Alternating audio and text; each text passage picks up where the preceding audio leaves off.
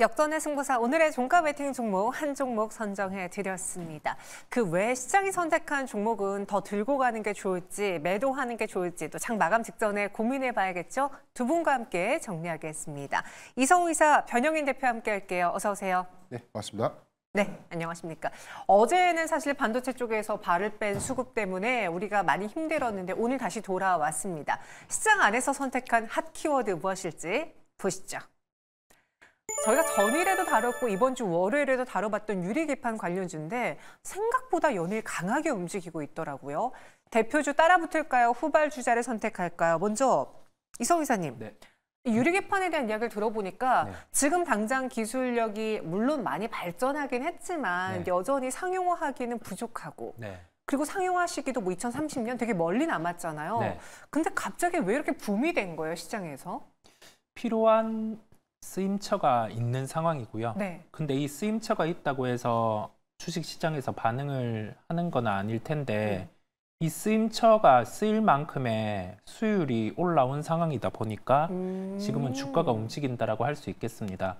한 3년 전부터 다뤄진 기술입니다. 네. 그 기술 안에서 유리기판이라는 점이 우리가 어, 일반적인 기판, 뭐 유기물을 활용하는 기판 부분을 유리로 활용을 하는 부분인데 내구성 같은 경우를 구성하기가 힘들었죠. 그렇다 보니까 소재에 대해서 뭐 배합에 대한 부분 비율을 계속 조정을 해 왔는데 이게 이제는 잡혀 들어가는 상황이고 여기 더해져서 우리가 고대역폭 메모리 같은 경우는 층수를 쌓는 역할을 하- 하잖아요.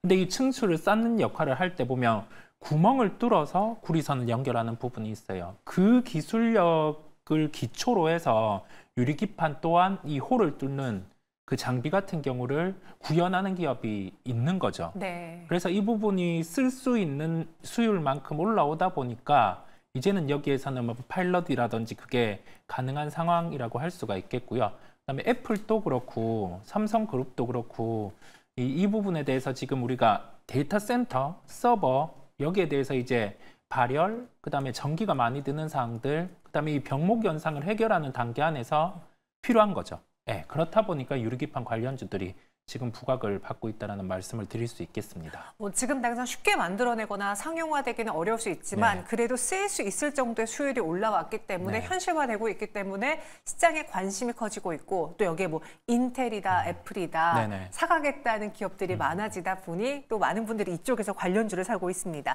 대표적으로 한 종목을 꼽는다면 피롭틱스가 보일 텐데 아, 오늘 추다 주의에도 불구하고 또 한 번 52주 신고가를 경신했어요. 무려 한 8거래, 9거 래 연속 상승인데요. 진짜 이 상용화는 멀었어도 피롭틱스를 포함한 이 유리기판 테마주들 수혜 볼 수 있는 겁니까? 네, 수혜를 볼 수 있고요. 네. 피롭틱스는 3월 말경에 기업 설명회를 했습니다. 설명회를 통해서 Q&A에서 어, 질문이 나온 게 그러면 지금 유리기판과 관련된 장비 같은 경우가 실제 어느 정도로 뭐 나가고 있냐라고 네. 했을 때 고객사 파일럿 장비로 납품을 했다라고 했어요. 네, 이 부분이 의미하는 바는 뭐냐면 지금 테스트 중에 있다라는 얘기를 할 수가 있겠고요. 그렇다 보니까 실제 장비 구현을 한 건 맞고 구체적으로 유리기판의 미세한 홀 같은 경우를 가공하는 장비입니다.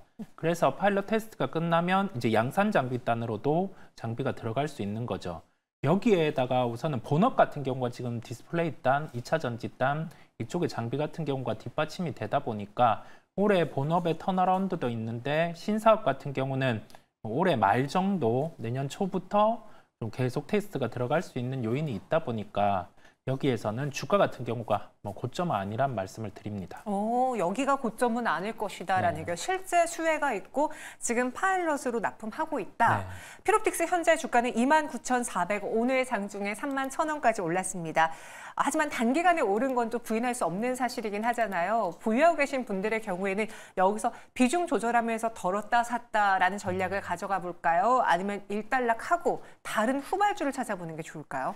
지금은 여기에서 주가가 한 3만 천 원 이상, 뭐 그 이상으로 상승을 하게 되면 투자 경고에 들어갈 수 있어요. 네. 그렇다 보니까 경고에 들어가면 주가는 좀 빠질 수가 있습니다. 한 10%에서 많게는 20% 정도 조정이 나올 수 있는데 그런 흐름이 나타났을 때 같은 경우를 놓고 그 조정을 통해 저는 추가 매수에 대한 의견을 드리고요. 지금 거래된 시가총액이 6,600억 정도인데 시가총액 8천억 원 이상까지는 기본적으로 상승이 가능하다는 점을 말씀을 드립니다. 오, 굉장히 피로틱스에 대해서 긍정적으로 이야기해 주셨어요. 물론 투자 경고가 지정이 된다면은 그 빌미로 네. 차익 실현 매도 물량이 나올 수 있는데 나는 그 조정을 오히려 이용해 보겠다라는 의견이고요.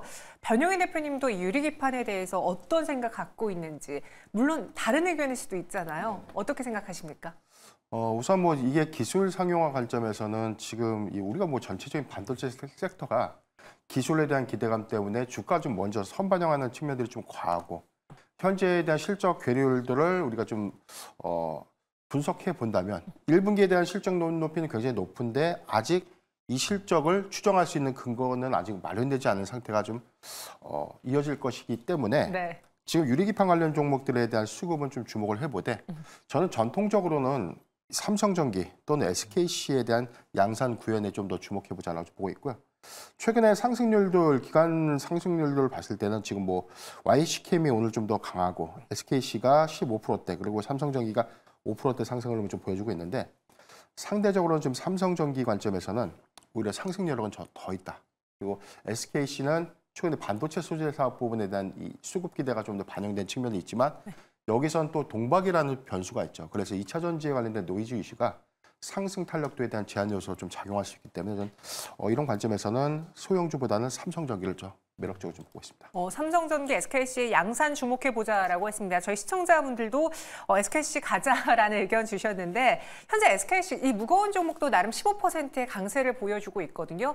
그동안 SKC 하면 저희가 뭐 동박이라던가 2차 전지로 집중을 했었는데 이 유리기판 쉐를 지금은 더 모멘텀 삼을 수 있다라는 거죠. 그렇죠. 지금 상승은 2차 전지 관련된 사업 부분보다는 네. 작년에 ISC를 인수하고 난 이후에 사업 구조 재편을 반도체 소재 사업 부분에 좀 더 집중하겠다. 올해 어, 컨퍼런스 콜에서 좀 이야기를 좀 했었고 여기서 1차적인 소재 확장 부분을 어, 유리기판이라고 좀 이 확정을 좀 했기 때문에 네. 이 부분에 대해서는 저는 단기적 관점의 양산은 단순하게 뭐 말로만 진행되는 것이 아니라 현실화되고 있고 이 부분은 어, 2030년에 뭐 인텔이 좀 양산 계획을 좀 발표를 했는데 뭐 SKC의 경우에는 2026년 또는 2027년도에 조기 양산을 할 수 있다는 자신감 좀 보였기 때문에 이 포인트는 주목해 볼 만하지 않나 좀 보고 있습니다. 네, SKC 현재 구간 상승, 삼성전기 그리고 앞서 말씀해주신 YC켐과 필옵틱스 오늘 유리기판 테마주들이 다 같이 올라주고 있습니다.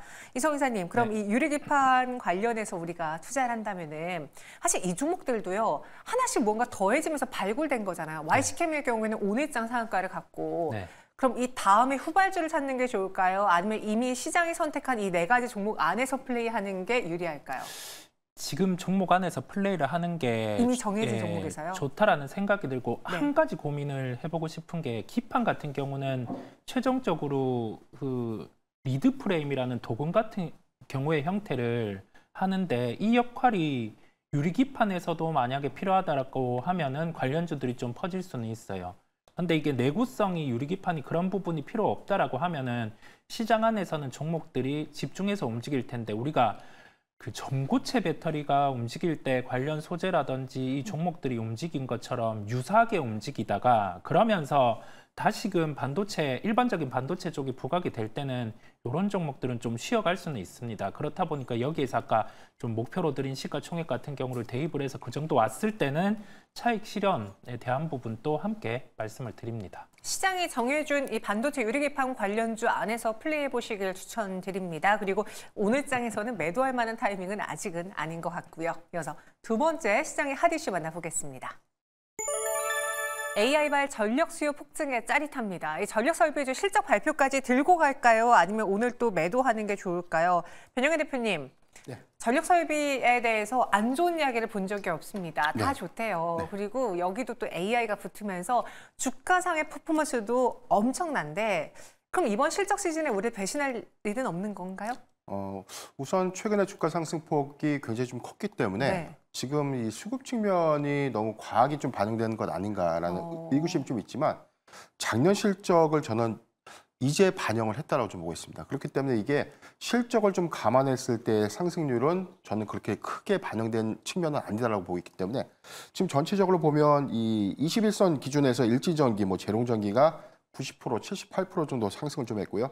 HD 현대 일렉트릭이 53%대, LX 일렉트릭이 37% 정도 상승을 했는데 그 이외의 종목들 보면 30%가 채 상승을 못했습니다. 안 한 종목도 있다. 네. 효성중공업이 뭐 최근에 좀 강했어도 30%대 상승을 했는데 어, 동종포를 우리가 조금 비교해 봤을 때에 대해서 뭐 시가총액 대비 한 40%에 대한 상승 여력이 좀 있다는 분석이 있었거든요.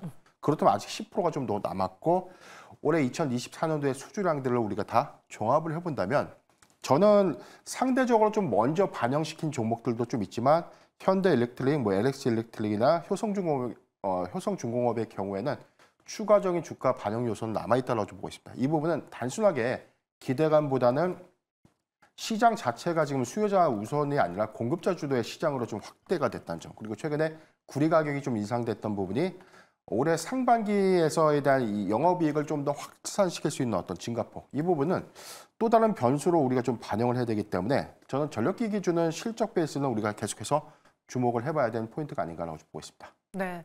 어, 예상 외로 그래도 최근에 주가 상승이 깊긴 했지만 이 주가는 지난해 실적을 반영한 수준이지 아직 미래를 다 반영하지는 않은 거다라고 이야기를 해주셨습니다. 아, 이러면 한번 HD 현대일렉트릭 한번 볼게요. 오늘까지 5거래 연속 상승하고 있고요. 저는 이렇게 많이 오른 종목들 연봉 차트로 보는 거 참 좋아합니다. 시뮬레이션을 돌리는 거죠. 2023년 1월 첫 거래일에 내가 이 종목을 샀다면 현재까지 들고 있었을 때 다섯 배 가량의 수익이 나는 거예요.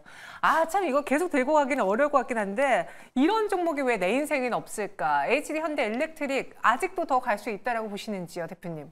네, 우선 오늘도 20만 2천 원 신고가 갱신을 좀 했었는데 어, 지금 상황들 좀 보면 현재 상승폭이 조금 반납은 좀 됐지만 그래도 19만 8,700원대 주가 형성을 좀 하고 있다. 아직은 상방 매물이 없기 때문에 전 추가적인 상승은 가능하다. 수급적인 측면에서요. 그런데 다만 어, 보유자라면 저는 익절가를 조금 더 높여가면서 추세 대응을 하는 것이 맞겠다고 보고 있습니다. 저는 여기 실적이 관련된 뭐 이견은 없는데 네. 단기에 수급 유입 효과가 좀 더 강했다는 것은 일부 차익 실현을 통해서 상대적으로 좀 더 덜 올랐던 그런 종목들로 저는 편입하는 전략이 더 유효하다는 관점에서 지금 현대 일렉트릭의 경우에는 지금 한 18만 7천 원이 좀 이탈되지 않다면 네. 저는 보유 의견을 좀 제시해 드리고요. 만약에 내일 거래일도 좀 더 상승을 해준다면 뭐만 원에서 만 오천 원 정도에 대한 일- 익절가를 조금씩 조금씩 좀 올라가는 전략이 유효하지 않을까라고 좀 보고 있습니다. 이 신고가 영역에 있기 때문에 지금 위에 물량이 없다라는 장점이 있습니다. 따라서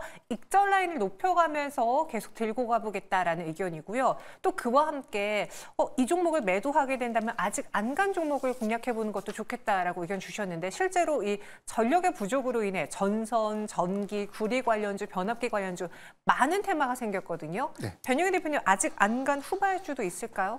후발주의 개념에서는 지금 실적 베이스에서 저는 대한전선을 좀 보고 있는데요. 대한전선이요? 대한전선이 최근 20거래일 기준에서는 약 한 20%대 상승을 좀 했지만 올해 그 주중 배정의 유상증자를 통해서 7천 원대 발행됐던 이 주가 가치 희석 요인이 주가 상승 여력을 좀 더 제한시켰다라고 보고 있습니다. 다만 올해 최근에 이 미국발 수주가 한 2천억 원대로 좀 추정되고 있고 이 부분은 작년에 전체 미국향 매출 비중의 거의 절반 이상을 1분기 이내에 좀 취득을 했다는 부분은 올해 상반기에 수주가 조금 더 열려 있고 이 부분을 좀 더 감안해 본다면 주가의 상승 여력은 좀 더 커질 수 있다. 다만 지금 과정은 어, 주주 이 주가 가치 희석 요인에서 이 일정 물량들을 좀 소화하는 과정이다라 좀 보여주고 있기 때문에 대한 대한전선의 경우에는 저는 한 13,000원대를 좀 강하게 좀 돌파를 해준다면 추가적으로는 추가적인 어떤 상승 여력은 좀 더 타 전력기기 주보다는 좀 더 가능하지 않을까라고 좀 보고 있습니다.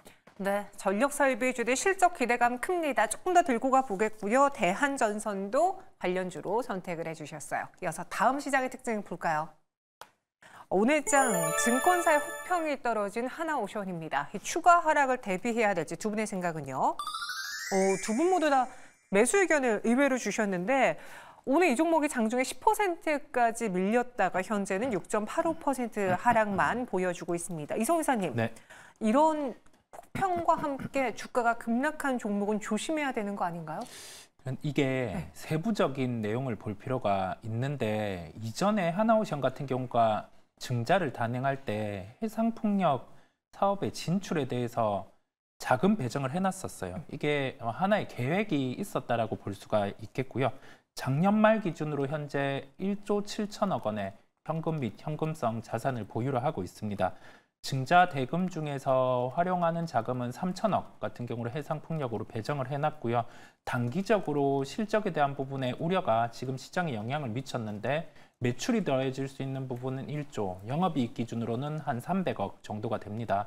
그러면 인수에 대한 부분에 가치가 어느 정도인지가 중요하겠죠. 그렇다 보니까 확정적으로 어느 정도 자금이 하나오션이 들어서 이 사업부를 가지고 오는지가 핵심이겠습니다. 그런데 결정난 바가 없어요. 음. 그렇다 보니 우선은 비용이 좀 더 들 수 있다 보니까 조정이 나왔는데 그런 점을 감안하더라도 한 2만 4천 원대 조정이 나온다라고 하면은 하나오션은 매수 가능합니다. 오, 하나오션 세부적인 내용들을 살펴봤을 때 어, 이렇게까지 하락할 만한 요인은 네. 아닌 것 같다. 조정 시 매수 의견 주셨고요.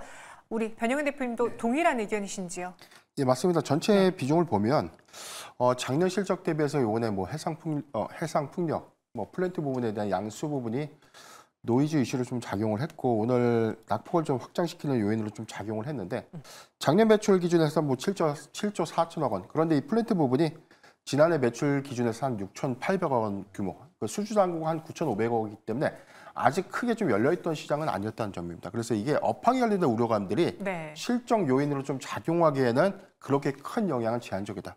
그래서 이거는 단기적으로 저는 뭐 노이즈 이슈다라고 좀 보고 있고 오늘 구간에서는 저는 충분히 어떤 어, 접근이 좀 가능한 구간이 아닌가라고 좀 보고 있기 때문에 LNG선의 최근 수주 동향을 좀 봤을 때는 25조 6천억 원 규모의 수주 잔고가 좀 유입되고 있고 여기서 아직 방산 부분에 대한 실적이 올해 상반기에 좀 반영되지 못한 측면이 좀 있는데 고부가 같이 고부가 선박에 대한 이 발주가 계속 계속해서 이제 수주가 좀 늘어나고 있다는 점 이 부분은 이익 개선 활용도가 작년보다는 올해가 좀 더 크지 않을까라는 관점에서는 뭐 해상 또는 뭐 해상 플랜트의 어떤 이 실적 유입 효과는 이게 손실 기인 효과로 작용하더라도 그 영향은 크지 않다라고 좀 말씀드리겠습니다. 네, 그래서 하나오션 두 분 모두 다 조정 시 매수 의견 주셨습니다. 참고해 보시고요. 현재 동시효과 구간에서 코스피는 1.32%의 큰 상승을 보여주고 있네요. 2,742.58포인트를 코스닥은 0.34% 상승으로 전환되며 882.98포인트 지나고 있습니다. 수급 한번 봐볼까요? 외국인 돌아왔는지 아, 오늘 현선물 매수로 돌아왔습니다. 외국인 코스피 시장 안에서 3,800억 원가량의 매수 우위를 기관도 1,600억 넘는 매수세 보여주고 있습니다. 자세한 종가는 지금부터 전해드리도록 할게요. 아, 오늘 어제 하락한 바이오의 고리는 끊어내지 못했지만 그래도 반도체주가 살아났다라는 면에서 지수에는 큰 움직임이 보였습니다. 하락의 고리 이렇게 끊어낸 것인지 또 내일은 삼성전자 실적이라는 중요한 이벤트가 있는데요. 무엇을 봐야 될지 장마감 간단하게 브리핑해 주시죠. 오늘 시장은 장 초반부터 어, 프로그램 매수 같은 경우가 강했어요. 비창 매수가 강하게 들어오는 상황 안에서 SK 하이닉스, 삼성전자 같은 경우가 프로그램 매수 강도가 동시간대 대비해서 강했습니다. 그렇다 보니 뭐 시장의 중심 수급이 흘러가는 상황이었고 우리가 다뤘던 유리기판 관련주 같은 경우도 강세죠. 이 시장이 의미하는 바는 IT 업종 안에서 지금 순환매가 돌고 있음을 말씀을 드릴 수 있겠고요. 후공정 패키징 관련해서 하나마이크론 같은 경우는 SK 하이닉스의 증설 소식이 더해지면서 오늘 주가 같은 경우에 상승폭이 강했습니다. 어, 이런 요인들처럼 지금 뭐 후공정, 뭐 전공정, 다시금 뭐 HBM 단 이렇게 순환매가 계속 돌고 있는 시장이다 보니 어, 관련된 IT 종목이 좀 시세가 약하다라고 해서 너무 좀 음, 이렇게 매도를 하거나 그럴 필요는 없는 것으로 보이고요. 내일 삼성전자 실적 같은 경우는 뭐 한 6조 기준으로 좀 갈릴 것 같아요. 그런데 주가가 만약에 세론 현상이 나타난다라고 하면은 그 부분에 대해서는 매수에 대한 시각을 말씀드립니다.